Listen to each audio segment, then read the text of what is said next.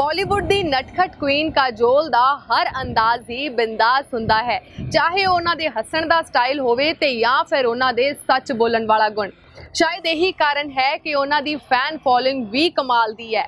ਪਰ ਹੁਣ ਅੱਜਕੱਲ ਉਹਨਾਂ ਦੀ ਇੱਕ ਵੀਡੀਓ ਬਹੁਤ ਜ਼ਿਆਦਾ ਵਾਇਰਲ ਹੋ ਰਹੀ ਹੈ। ਆਓ ਪਹਿਲਾਂ ਤੁਹਾਨੂੰ ਉਹਨਾਂ ਦੀ ਇਹ ਵੀਡੀਓ ਦਿਖਾ ਦਿੰਦੇ ਹਾਂ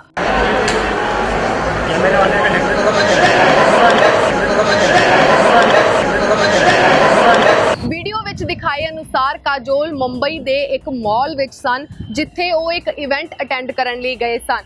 ਤੇ ਉਹ ਬਾਡੀਗਾਰਡਸ ਦੇ ਸੁਰੱਖਿਆ ਦੇ ਘੇਰੇ ਵਿੱਚ ਜਾਂਦੇ ਹੋਏ ਅਚਾਨਕ ਲੜਖੜਾ ਕੇ ਡਿੱਗ ਪਏ। ਇਸ ਤੋਂ ਪਹਿਲਾਂ ਵੀ ਉਹ ਇੱਕ ਪ੍ਰੈਸ ਕਾਨਫਰੰਸ ਦੌਰਾਨ ਡਿੱਗ ਪਏ ਸਨ, ਜਿੱਥੇ ਸ਼ਾਹਰੁਖ ਖਾਨ ਨੇ ਉਹਨਾਂ ਨੂੰ ਸੰਭਾਲਿਆ। ਸੋ ਇਸ ਤਰ੍ਹਾਂ ਅਨੁਪਮ ਖੇਰ ਨਾਲ ਦਿੱਤੇ ਆਪਣੇ ਇੱਕ ਇੰਟਰਵਿਊ ਵਿੱਚ ਉਹਨਾਂ ਨੇ ਖੁਦ ਇਹ ਮੰਨਿਆ ਕਿ ਉਹ ਅਕਸਰ ਹੀ ਡਿੱਗ ਪੈਂਦੇ ਹਨ ਤੇ ਜਿਹੜੀ ਫਿਲਮ ਦੇ ਸ਼ੂਟ ਤੇ ਵੀ ਉਹ ਡਿੱਗਦੇ ਹਨ, ਉਹ ਫਿਲਮ ਹਿੱਟ ਹੋ ਜਾਂਦੀ ਹੈ। ਉਂਝ ਕਾਜੋਲ ਵੱਲੋਂ ਇਸ ਗੱਲ ਨੂੰ ਰਿਊਮਰ ਦੱਸਿਆ ਗਿਆ ਹੈ, ਪਰ ਇਹ ਵਾਕਿਆ ਹੀ ਸਹੀ ਗੱਲ ਹੈ ਕਿ ਜਿਸ ਮੂਵੀ ਦੇ ਸ਼ੂਟ ਤੇ ਵੀ ਉਹ ਡਿੱਗ ਪੈਂਦੇ ਨੇ, ਉਹ ਮੂਵੀ ਬਾਕਸ ਆਫਿਸ ਤੇ ਧਮਾਲਾ ਪਾ ਜਾਂਦੀ ਹੈ। ਬਟ ਅਸੀਂ ਕਾਜੋਲ ਜੀ ਨੂੰ ਇਹੀ ਸਲਾਹ ਦਵਾਂਗੇ ਕਿ ਉਹਨਾਂ ਦਾ ਇਹ ਹੱਸਦਾ ਚਿਹਰਾ ਸਾਨੂੰ ਹਮੇਸ਼ਾ ਹੱਸਦਾ ਹੀ ਦਿਖਦਾ ਰਹਿਣਾ ਚਾਹੀਦਾ ਹੈ।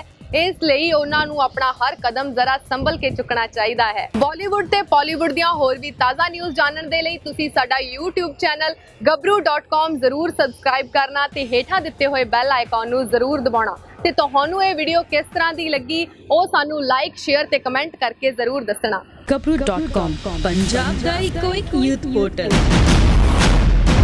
ਐਂਟਰਟੇਨਮੈਂਟ ਦਾ ਦੇਸੀ ਪੰਚ